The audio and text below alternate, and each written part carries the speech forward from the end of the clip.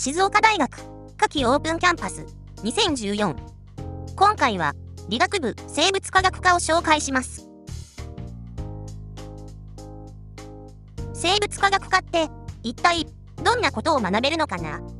教員の方々のお話を聞いてみましょう。理学部生物科学科の徳本先生にお話聞きたいと思います。よろしくお願いします。まず生物科学科では一体どういったことが学べるんでしょうか？あのまあ、従来通りのあの、生物の研究を学べるわけなんですけれどもあの今非常に生命科学があの発展してきてましてあの科学とか物理の分野の、えー、方もこの生命科学の研究にだいぶあの進出してきてるんですね。それで生物科学の特徴としては、本当の生き物に接する。まあ、生き物をあのか自分で飼ってそれであの実験に使えるようなあのセンスを学べるとこれが一番の特徴かと思います。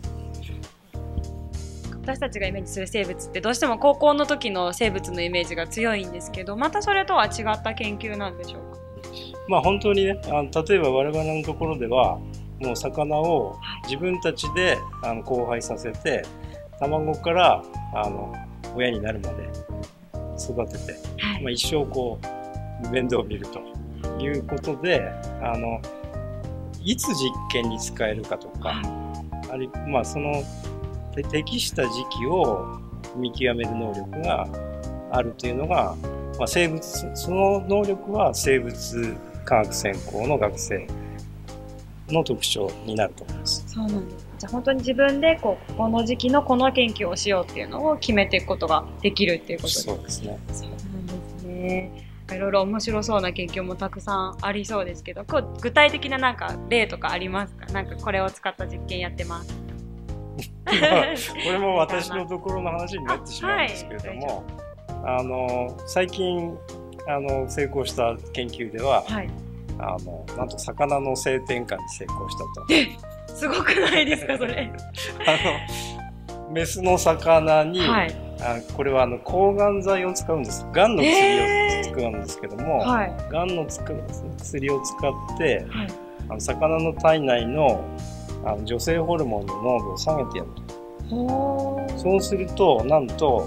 オスに変わってしまう。メスがオスに変わるへええそちゃんと生殖もできる？できたんですね。へえすごい。でそれができたということは、はい、あのこれは学術的に何がどういう意味があるかっていうと、はい、あのまあ、メスなのに、はい、まだあの精子を作れる、はい。あの幹細胞が残されてたってことなんですね。ああなるほど。だからまあ将来的にはその幹細胞を取り出して培養できれば、はい、あの体外で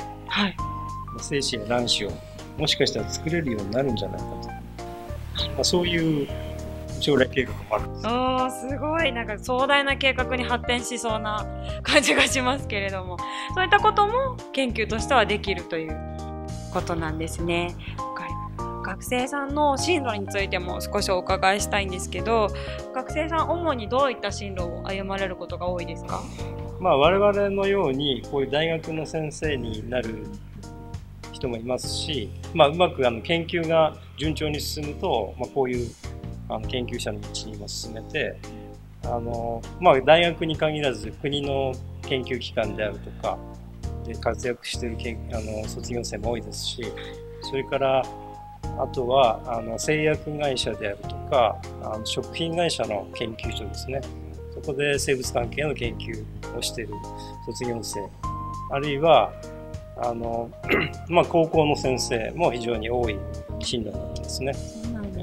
割合的にはどのぐらいになりますいやまあただそこまでの成功者っていうのはね それほど多いわけではない。23割でしょうかね全体でいうと。院に進まれる方っていうのも結構いらっしゃるんですか？もちろんそうですね。あの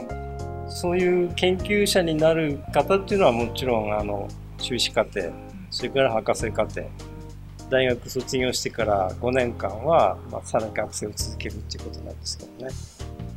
静岡大学以外の研究室を受ける方も多いですね。えーでまたいろいろ環境を変えてやったりすることもあるということで静岡大学ですとやっぱり県内のイメージが強いかなとは思うんですが県外から来られる学生ってどのぐらいいらっしゃいますか？そうですね。あの生物科学科の場合は、あの昔から全国各地からあの学生が集まってまして、今現在は多少県内が増えて、えーと4分の1ぐらいが県内なんですけれども、そまあその他はもう北海道から沖縄まで、全へー。全国からあのやってきてますね。でまたバラエティに富んでて面白いですよね。そういった出会いもきっと学生にとってはいい刺激になりますよね。最後に受験を考えている学生に一言お願いいたします。あのこの静岡大学生物科学科は